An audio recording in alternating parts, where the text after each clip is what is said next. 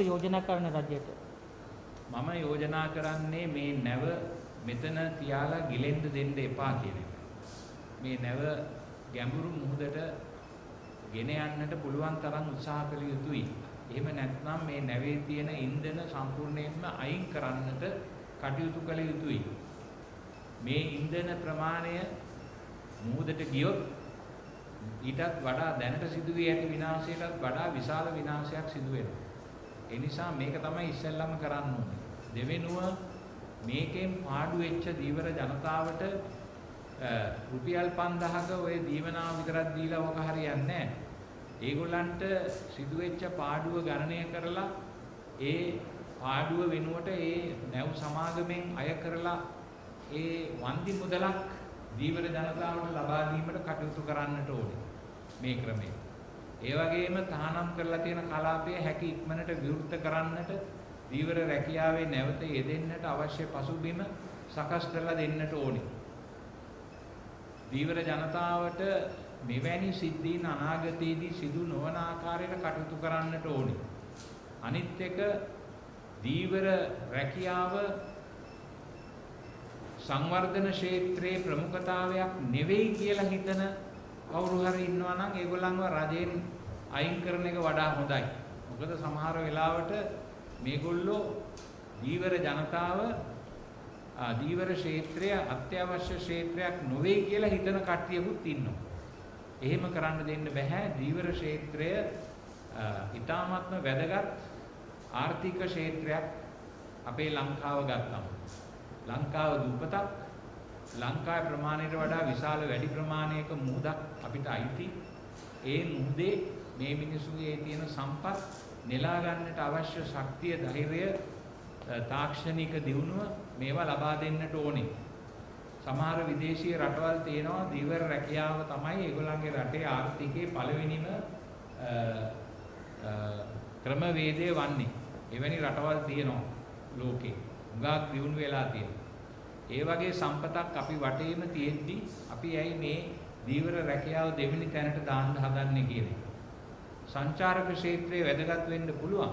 නමුත් සංචාරක ක්ෂේත්‍රයේ තියෙන්නේ ඒ මිනිසුන්ට එන්න පුළුවන් කාලවලට විතරයි. දැන් අපි මේ අපි මේක දැක්කා පාස්කු ප්‍රහාරයෙන් පස්සේ සංචාරක ව්‍යාපාරය සම්පූර්ණයෙන්ම කඩාගෙන වැටුණා. ඒ වගේම මේ කොවිඩ් එකෙන් පස්සේ සංචාරක ව්‍යාපාරය කඩාගෙන වැටුණා. නමුත් දීවර රැකියාව කඩාගෙන වැටෙන්නේ නැහැ. මොකද මූද තියෙනවා දිගට. සංචාරකයෝ නොවෙන්න පුළුවන්. ඒ නිසා මේ අපේ රටක් ආර්ථිකව දියුණු කරනකොට තියෙන සම්පත මූලික සම්පත හැටියට සලකලා ඒක දියුණු කරන්න සැලසුම් කරනවා මිසක් ඒක නැති කරලා ඉවර වෙලා මේ తాවකාලික සම්පත් ක්‍රම වේද වලට විතරක් ඉඩ දෙන්නේ කොහොමද? මේ මොකද්ද මේ ආර්ථික නියෝගය නියමය? අපිට ඒක වැටහෙන්නේ නැහැ. ඔය අයිස් එයා කන්ඩිෂන් කරපු කාමරවල ඉඳගෙන තීරණ ගන්න ඔය නගර සංවර්ධන අධිකාරියේ මහත්තුරු ඒ වගේ ඈන්ට අපි කියන්නේ කරුණා කරලා පොළොවට බහැලා මිනිස්සුන් එක්ක කතා කරලා Tamanගේ ව්‍යාපෘති සකස් කරන්න පුරුදු වෙන්න. විදේශීය රටක් නෙමෙයි ලංකාව ලංකාව ලංකාව. ඒ නිසා අපේ සම්පත් දියුණු කරන්න අපේම සම්පත් දියුණු කරන්න අපි කටයුතු කරමු. ඒ මිසක් මේ විදේශීය රටවල් වලට ඕන ඕන විදිහට අපේ සම්පත් හරවන්න අවශ්‍ය වෙන්නේ නැහැ. එතකොට අපේ මිනිසුන්ගේ ජන ජීවිතයට පහරක් වදිනවා. මෙන්න මේක තමයි කියන්න තියෙන්නේ දීවර රැකියාව සම්පත.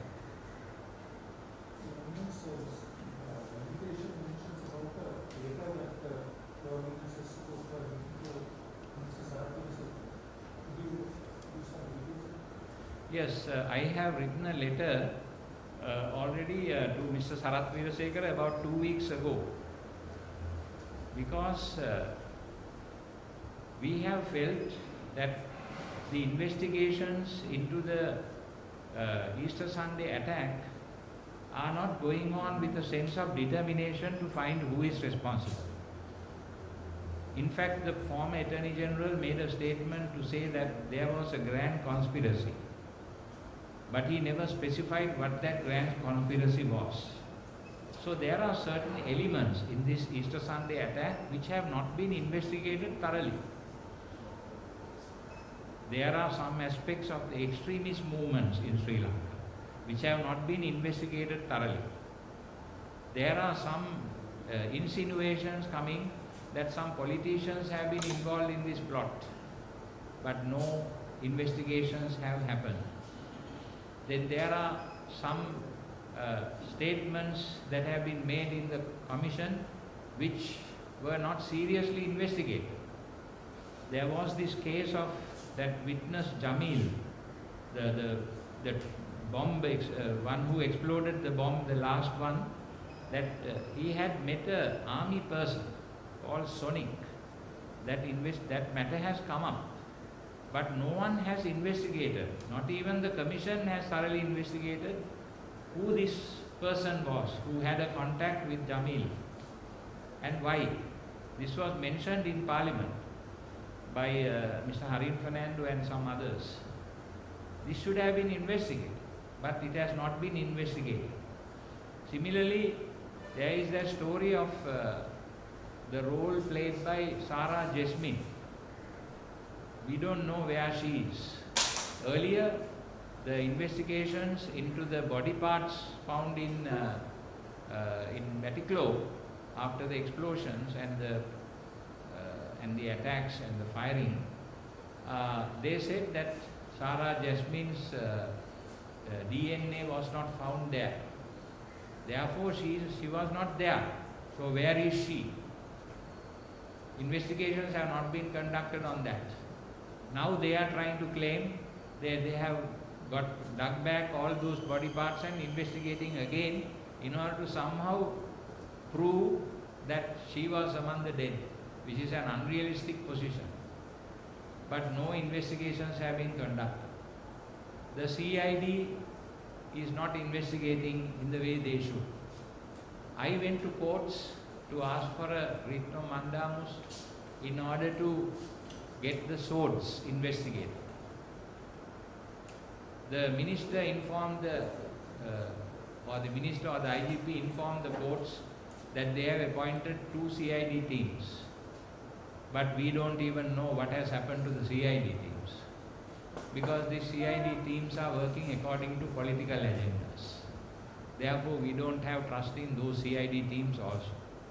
We don't have trust in the IGP also. Because there are certain points that have emerged in the commission report which require IGP's attention. He has not done anything on those matters then the Attorney General should have prosecuted the former president and some of the leading officers in the police responsible that time who could have prevented this bloodbath and massacre, but who didn't do anything, who ignored it, who cast cold water on it, but no investigation has happened no allegations have been or accusations have been brought forward to the courts, which is the recommendation of the commission. And this famous six-member committee of ministers, this is a, a, a tomfoolery by the president to try to choose against whom action should be taken and against whom action should not be taken. Therefore, there are two laws in the country. One law for the for those powerful figures and one law for the others.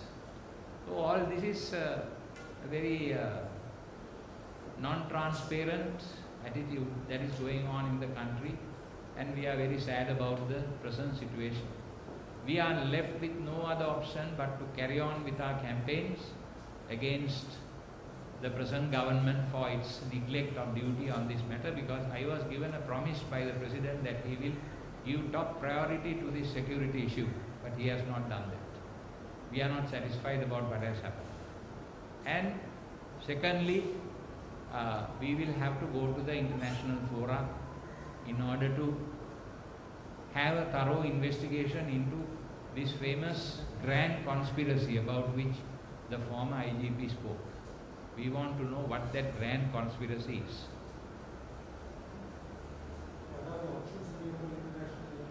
Hmm? As you know, the Catholic Church is an international body, so we have our connections all over. So it is possible for us to do something about it through our network of connections with the other countries. Uh, and also we are able to uh, uh, approach some of the United Nations organizations directly in order to find solace for our people. Because 269 people, men, women and children who had nothing to do with Islam or Islamic extremism or, or anything to do with, we never had anything against the Muslims. In fact, we protected all the Muslims after the attacks from any attacks against them. We will continue to do that because we respect the Muslims very much. It is not against the Muslims, it is against extremism. Therefore, we will uh, have to ask for a transparent investigation into what happened and why these people were killed and these people were maimed and uh, made disabled for life. For what reason? All this is mentioned in the letter. Hmm? All this is mentioned in the letter.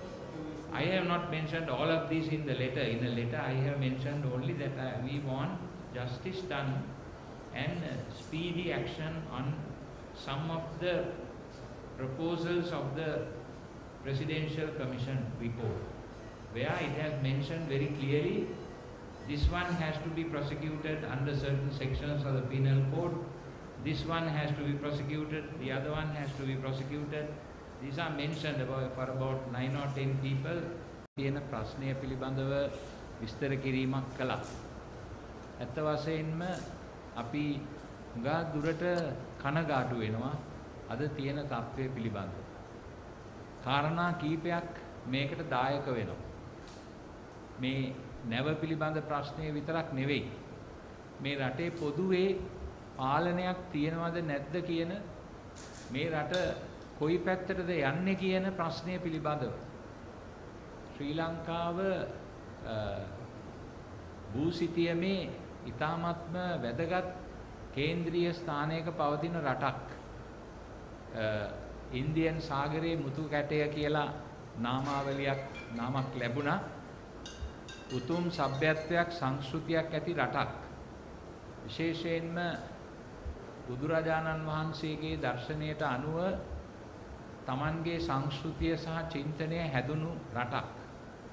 එවැනි සම්පත් රාශියක් සහිත ඉතිහාසයක් ඇති බටහිර ලෝකයේ රටවල් වල අයට ඉස්සෙල්ලා සංස්කෘතිය පිළිබඳව අක්ෂර ශාස්ත්‍රය පිළිබඳව වෙදකම පිළිබඳව විවිධ ක්ෂේත්‍ර පිළිබඳව ඊ타මාත්ම දියුණු අඩවියක තිබුණු රටක්.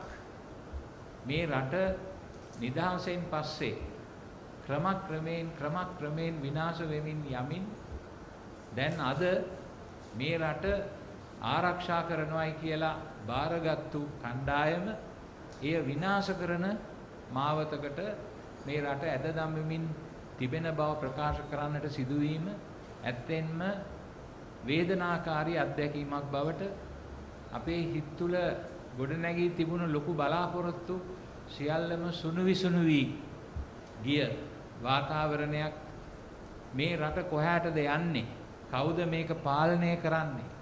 කවුද මේකේ තීරණ ගන්නෙ කියන தત્ත්වය පිළිබඳ ඊ타ත්ම අවනිශ්චිත පරිසරයක් ඇති වෙලා තියෙන රටක් බවට පත් වෙමින් පවතිනවා.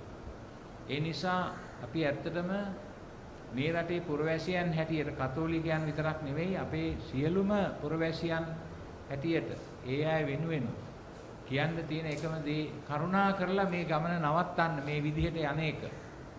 දියුණුව කියලා කියන්නේ තියෙන සම්පත් සේරම විකුණා දැමීම නෙවෙයි. තියෙන සම්පත් විකුණා දැමීම පහසු වෙන්න පුළුවන්.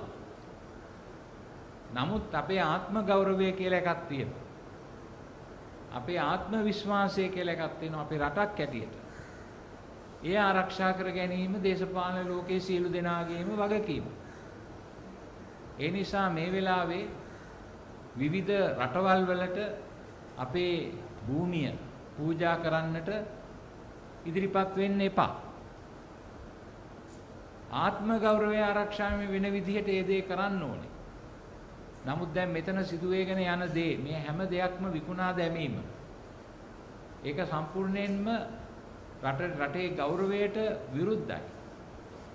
ඉස්සෙල්ලා MCC ගිවිසුම පිළිබඳව අපි විරෝධය පළ කරපු වෙලාවේ ඒකට ලොකුවට බැඳුණු මේ රජයේ දේශපාලනකයෝ අද ඒකෙම ඒ తත්වයේ වගේම දෙයක් ඊටත් වඩා දරුණු විදියට කරමින් සිටින බව අපිට පේනවා. ඒ නිසා අපි ඇත්තටම දුක් වෙනවා මේ ගැන. මේ රටේ ලොකු කුමන්ත්‍රණයක් ක්‍රියාත්මක වෙන බව හිටපු නීතිපතිතුමා ප්‍රකාශ කරලා තිබුණා. ඒ කියන්නේ පාස්කු ප්‍රහාරයේ පිටිපස්සේ ලොකු කුමන්ත්‍රණයක් තියෙනවා කියලා. ඒ කුමන්ත්‍රණය මොකක්ද කියන එක අපි දැනගන්න එහෙම කුමන්ත්‍රණයක් තියෙනවා කියලා එතුමා කිව්වනම් එතුමා ඒක හොයන්න ඕනේ. එතුමා සහ එතුමාගේ ස්ථානීය ගත්තු අලුත් නීතිපතිතුමා මේක හොයන්න ඕනේ. ඒ වගේම මේ රටේ නීතිය ආරක්ෂා කිරීමට එතුමා බැඳිලා ඉන්නවා. ඒ වගේම මෙම පාස්කු ප්‍රහාරයේ පිටිපස්සේ ඇතැම් පුද්ගලයන්ට විරුද්ධව ක්‍රියා නොකරන මට්ටමක තත්වයක් අද උදා කරලා දීලා තියෙනවා ආණ්ඩුව. ඒක කළේ පාස්කු ප්‍රහාරය පිළිබඳ වාර්තාව නිකුත් වෙලා දවස් ගානකින් ජනාධිපතිතුමා විසින් විශේෂ කොමිටියක් පත් කෙරුවා 6 දිනකගෙන් සමන්විත. ඒ කොමිටිය කළේ ඕගොල්ලන්ට එක නීතියක් අපිට තව නීතියක් කියලා පෙන්වන්නයි. ඒ කොමිටියට බාර දුන්නේ තෝරලා බේරලා දෙන්න ක්‍රියාත්මක කරන්න ඕනේ මොනවද ක්‍රියාත්මක කරන්න ඕනේ නැත්තේ මොනවද ඒකෙන් කළේ එක රටක් එක නීතියක් නෙමෙයි. ඕගොල්ලන්ට එක නීතියක් අපිට තව නීතියක් කියන එකයි. ඒ කොමිටියෙන් කළේ යන්නේ ඒකයි. ඒ නිසා තමයි මෙම වාර්තාවේ සමහර නිලධාරීන්ට විරුද්ධව කටයුතු කරන්න කියලා පැහැදිලිවම නීතියෙන් කටයුතු කරන්න කියලා පැහැදිලිවම කියලා තියෙද්දි එය නොකර ඒ අයව ආරක්ෂා කරනවා. හිටපු ජනාධිපතිතුමා හිටපු බුද්ධි අංශවල නිලධාරීන් ඒ අය සියලු දෙනාටම නීතියෙන් දඬුවම් කරන්න කටයුතු කරන්න කියලා එම වාර්තාවේ සඳහන් වෙලා තියෙද්දි ඒ ගැන කිසි දෙයක් කරලා නැහැ. ඒ කියන්නේ නීතිය එක කට්ටියකට එක විදියකට තව කට්ටියට තව විදියකට. ඒ වගේම ආණ්ඩුව මාධ්‍ය සංදර්ශන පවත්වනවා. දවසක් එක්කෙනෙකුව ගන්නවා ඊට පස්සේ යාව නිදහස් කරනවා. 20 වෙනි සංශෝධනයේ වෙලාවේදී මුස්ලිම් ඡන්ද ලබා ගැනීම සඳහා කරපු විඥාව අපි දැක්කා. ඒක ඩීල් එකක්. මේවා කළා. මේමද රට පාලනය කරන්නේ යම් ආකාරයක දැහැමි යම් ආකාරයක ප්‍රතිපත්ති ගරුක විනිවිද පේන පරිපාලන ක්‍රමයක්ද මේ දැන් ගෙනත් තියෙන්නේ එහෙම ක්‍රමයකටද මේ රට පාලනය කරන්නේ. එහෙම නැත්නම් මේ විදිහටද මේ දූෂිත ක්‍රමවේදය ටිකෙන් ටික ටිකෙන් ටික මේ ලංකාව බිලිගෙන දැන් ඊටත් වඩා අන්ත තත්වයෙන් බිලිගන්න. අපි කල්පනා කරනවා ඇත්තටම හුඟක් වෙලාවට ඇයි අපි ඡන්දේ දාන්න යන්නේ කියලා. 225ක් පාර්ලිමේන්තුවට පත් කරන්නේ ඇයි කියලා අපි අහනවා අපෙන් අපෙන් අහගන්නවා මේ ප්‍රශ්නේ. මේ වගේ දේවල් වලටද මේ රට යොමු කරන්න අපි මේ අයව පත් කරේ. අපේ ඡන්දේ දීලා. එහෙමනම් අපිට ඡන්ද ක්‍රමයක් අවශ්‍යද කියලාත් ඇහෙනවා. මේ විදිහට මේ රට පාලනය කරන්න ගියොත් එහෙම මේ රට විනාශ වෙනවා. දැන් ගාමිණී පියතුමා කිව්වා වගේ මේ නැව පිළිබඳ ප්‍රශ්නයත් ඒ වගේම ලොකු ප්‍රශ්නයක්. දැන් අපේ දීවර ජනතාවට විශාල හානියක් සිදු වෙලා තියෙනවා මේ නැවෙන්. මේ වරායබාර ඇමතිතුමා සහ එතුමාගේ ඒ මණ්ඩලය මේ පිළිබඳව හරියාකාර පිළිතුරක් අපිට දීලා නැහැ.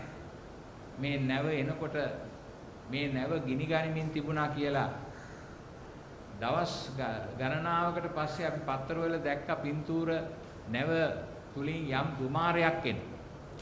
ඒ වෙලාවදිවත් මුකුත් කරේ නැහැ. මේ නැව ගැඹුරු මූදට අරගෙන යන්න. මේ නැව ප්‍රතික්ෂේප කරන්න.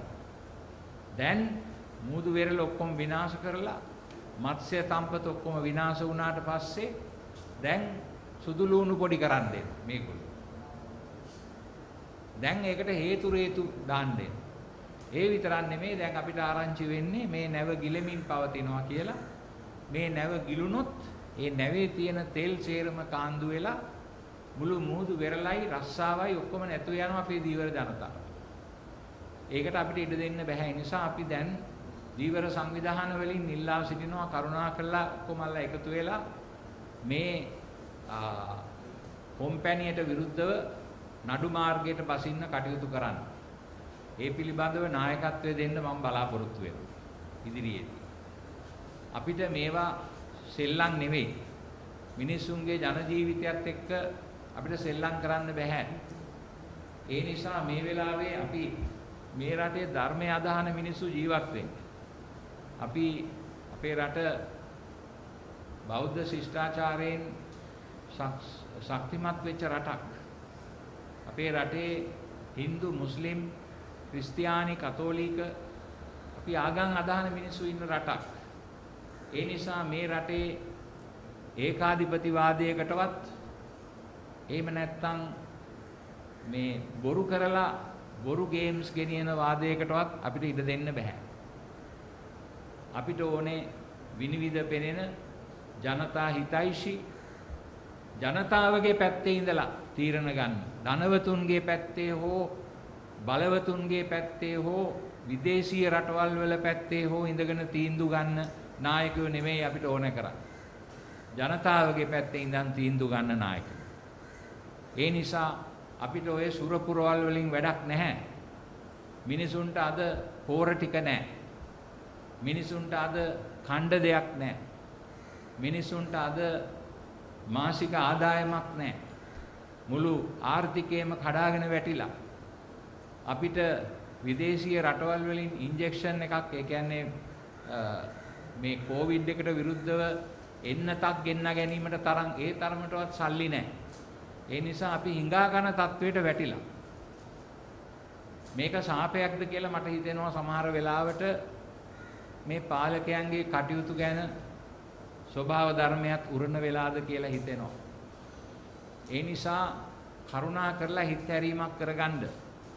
මේ යන ගමන යන්න එපා. අපි නගර සංවර්ධන අධිකාරියට ලංකාව බාර දුන්නේ නැහැ.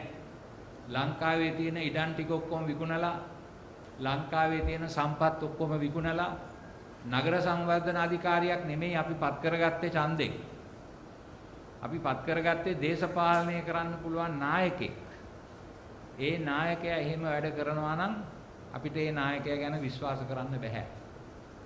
ඒ නිසා මේ අවස්ථාවේදී මම මේ රටේ පොදු ජනතාව වෙනුවෙන් ඉල්ලා සිටිනවා. කරුණා කරලා මේ ගමන් මඟ නතර කරන්න. අපේ රටට, අපේ ආගම්වලට, අපේ සංස්කෘතියට හිතවත් පරිසරය ආරක්ෂා කරන ඔය ලොකු ලොකු තාක්ෂණික දියුණුව